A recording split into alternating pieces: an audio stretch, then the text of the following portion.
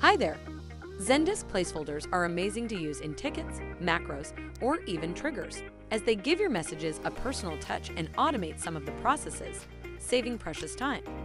Let's get started with a simple way of using placeholders. If you do not want to spend time writing your name or the name of a ticket requester every time you communicate with clients, just replace these parts with placeholders. Another way to reduce the answer time is to create macros, predefined answers, using placeholders. For example, we create a macro with liquid markups.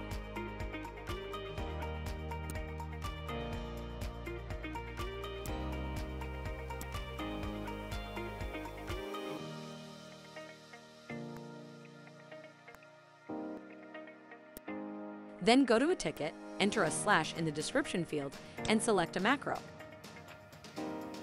As you can see, our placeholders were filled up automatically.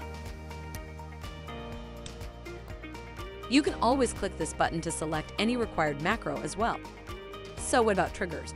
You are allowed to create triggers in Zendesk, and they also can contain placeholders. For example, we have an app called Proactive Campaigns, and it sends mass emails.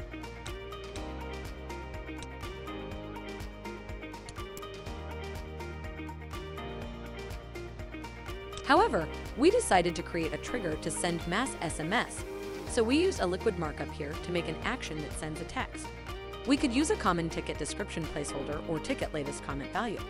The first one inserts all ticket information, including the author's name, time, and date. But we want to hide this unnecessary metadata from recipients, so we use the second placeholder. And finally, we would like to explain how to use placeholders for custom fields. For example, we need to automate sending the tracking number to our client. So how can we make a placeholder that takes this information from a custom field?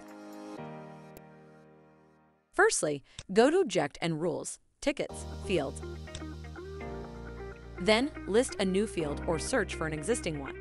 If you don't have such a custom field, so click the Add Field button. Select the number type, name it, and save. In this column, copy the field ID so we use this later. After, you can add a creative field to the ticket form.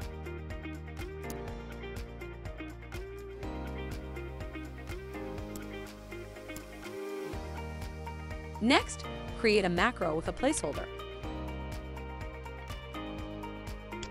Here we type a placeholder and paste the field ID in this part.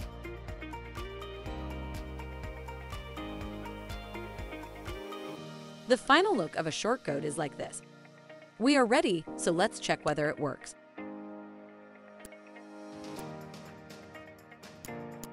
By the way, you can find all placeholders from this video in the description below, as well as related video tutorials about macros and triggers. So visit our website to learn more about our apps, themes, and services, or contact our friendly support team. See you there.